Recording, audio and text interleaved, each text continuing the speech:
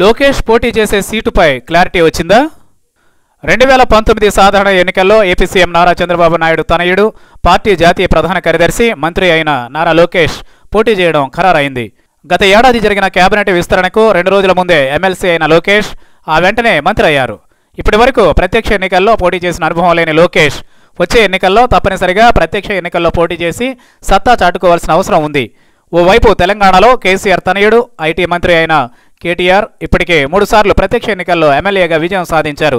ఇలాగే పలు ఎన్నికలకు ఆయన ఇన్ఛార్జిగా ఉండి ఆ ఎన్నికల్లో టీఆర్ఎస్ను గెలిపించారు.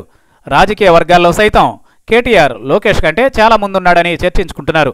దీంతో లోకేష్ వచ్చే ఎన్నికల్లో కూడా ప్రత్యక్ష ఎన్నికల్లో పోటీ చేసి గెలవకపోతే అది అనేక సందేహాలకు తావు ఇవ్వడంతో పాటు లోకేష్ సమర్థతకే ప్రశ్నార్థకంగా మిగులుతుంది అనడంలో సందేహం లేదు.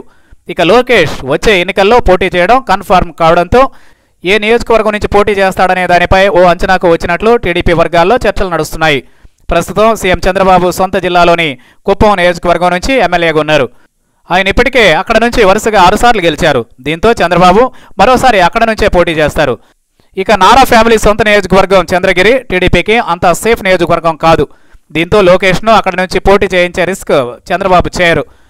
ఇక ఇప్పుడు చంద్రబాబు లోకేష్ కోసం ఎన్టీఆర్ సొంత జిల్లా కృష్ణా జిల్లాలో ఎన్టీఆర్ ప్రాతినిధ్యం వహించిన గుడివాడ లేదా విజయవాడ నగరానికి ఆనుకునే ఉన్న పెనమలూరు పైనే ఉన్నట్లు తెలుస్తోంది.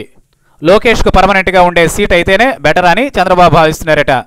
ఇక హిందూపురం నుంచి కూడా లోకేష్ను పోటీ చేయించాలని అనుకున్నా అక్కడ బాలయ్య కోట్లాది రూపాయలతో నియోజకవర్గంలో అభివృద్ధి పనులు చేయిస్తున్నారు. అక్కడ బాలయ్య అందుబాటులో లేకపోయినా పనులు ఆగడం లేదు. దీంతో పాటు బాలయ్య మళ్ళీ అక్కడే పోటీ చేస్తానని ఇప్పటికే ప్రకటించారు.